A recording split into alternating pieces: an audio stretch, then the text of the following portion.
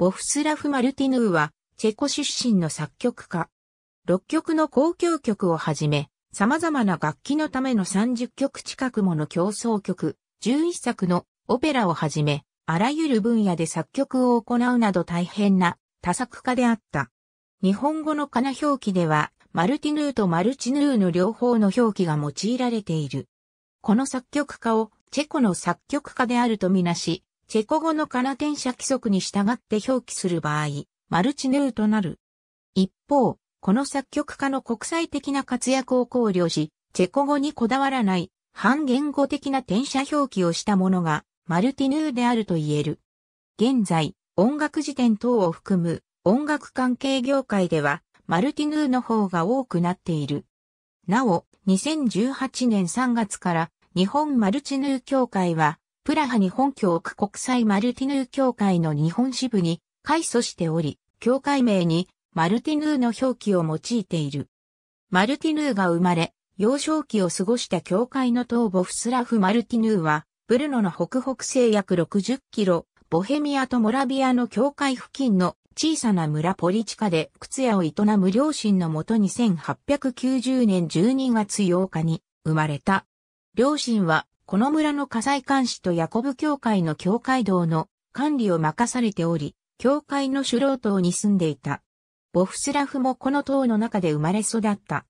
両親は音楽家ではなかったが、父親はアマチュア劇団の熱心な団員であり、母親は読書や歌が好きで民謡歌手でもあった靴職人を同居させてもいて、文化的な環境に恵まれてはいた。幼少期の彼は内向的な性格で塔の外へ出ることはほとんどなく、1日中本を読んで過ごしていた。7歳の時から近所の仕立て屋にバイオリンの手ほどきを受けると、めきめきと腕を上げ、やがて地元の弦楽四重相談で、バイオリン奏者を務めるようになった。12歳の時には、弦楽四重奏曲を作曲している。こうした才能に気づいた周囲の勧めや、特殊家からの援助もあり、プラハ音楽院に入学した。しかし、彼はここでの授業に満足できず、学校の許可を得ずに、素人の楽団に加わったりしたため、慢性的な怠慢によって1910年に退学となっている。その後1912年からは故郷の小学校で教師を務めていたが、1917年に音楽院時代の友人スタニスラフノバークの世話で、チェコフィルハーモニー管弦楽団の第二バイオリン奏者となった。1919年にはカンタータ、チェコ教師局でスメタナ賞を受賞し、作曲家としてのデビューを飾った。同じ年に国民劇場オーケストラの国外公演で行ったパリで印象派の音楽を知り、ルーセルのスコアに見せられた彼はその後演奏活動の合間に図書館へ通い印象派の作品を研究した。1922年数区のマスタークラスに入り、作曲を学ぶことになった時には、ドビュッシーのように作曲したいと語った。翌1923年には、奨学金を得て、念願のパリで学ぶこととなった。パリでは、ルーセルに大法を学び、フランス6人組やストラビンスキーなどの影響を強く受けた作品を作曲した。1929年、故郷ブルノの音楽院、ヤンクンツから作曲家の教授にと招聘を受けたが、これを断り、作曲に専念する。この頃から作風は二古典的なものとなり、故郷の民謡などを題材にバロック風の作品を書くようになる。1931年、パリのカフェで知り合った法政校シャルロットと結婚した。1938年メンヘン協定が締結された後は二度と故郷に戻ることはなかった。1940年、彼の名がナチスのブラックリストに載ったことを知ったピエール・フルニエやルドルフ・フィルクスニーの勧めでパリを離れ、スイスの友人パウル・ザッハーやエルネスト・アンセルメの援助でアメリカに渡った。1941年、マルティヌーはナチスのヨーロッパ侵攻を避けてアメリカ合衆国へ渡った。彼の6曲の公共曲のうち5曲がアメリカ合衆国滞在中に作曲されていることが示すように、アメリカに滞在した1940年代は、彼の創作活動の頂点にあたる。1945年、チェコが解放されると、プラハ音楽院から作曲家教授の要請があった。マルティヌーはこれに同意を伝えたが、その後この話は立ち消えとなった。1946年にセルゲイ・クーセビツキーから依頼され、バークシャー音楽センターの夏季講習の講師を務めることになった。この夏季講習の際、宿舎のバルコニーから転落して重傷を負い、1ヶ月以上の入院を余儀なくさせられ、退院後も頭痛、耳鳴り、難聴などの後遺症に悩まされた。この頃から作風は次第に軽いものに変わっていく。この頃まで彼は祖国に帰るつもりでいた。実際に1947年の交響曲第5番の初演に作曲家の代理で出席するためにプラハを訪れた夫人は西ボヘミアの芸術家村に帰国後の住まいの下見に行ったりもしている。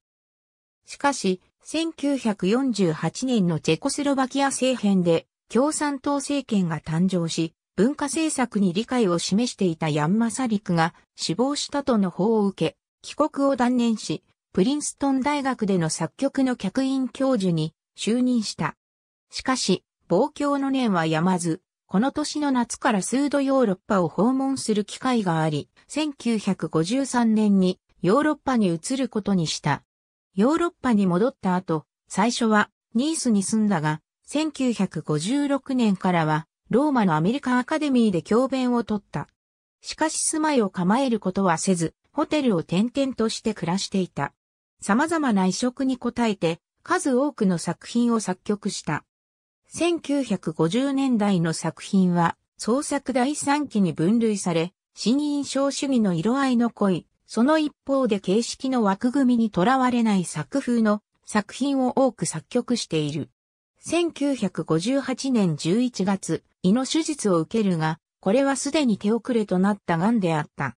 1959年春までは小康状態を保つが、同年8月28日、スイスのバーゼル近郊のリースタルの病院で息を引き取った。遺体は彼の遺言によりザッハーが所有する森の一宮に葬られた。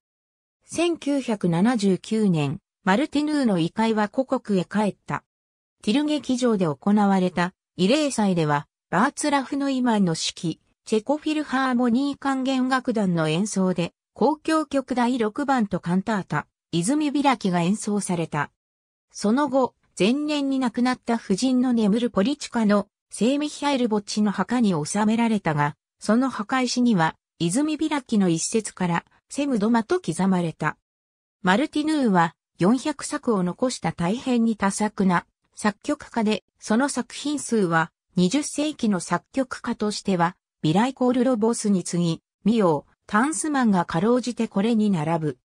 創作は自己の作風を模索するように様々な実験的手法を見た1930年代までの第一期、ほぼ1940年代と一致するアメリカ滞在時期が第二期で彼の創作活動の頂点にあたる。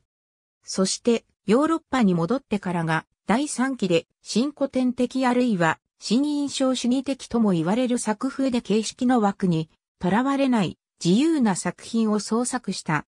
彼は知人に頼まれると断れない性格だったと言われ、その作品の多くは移植作品であり、名義性を発露するための競争曲が30曲近くも作曲されているのが際立っている。これに対し、20世紀の作曲家にとっては重要な分野である映画音楽は創作第一期に5作を作曲しただけという点も多くの研究者の興味を引いている。後年は望郷の念が作風に反映し、自分の名前から取った音名象徴や愛聴したドボルザークのレクイエムからのキリエなどの引用が増えてくる。ありがとうございます。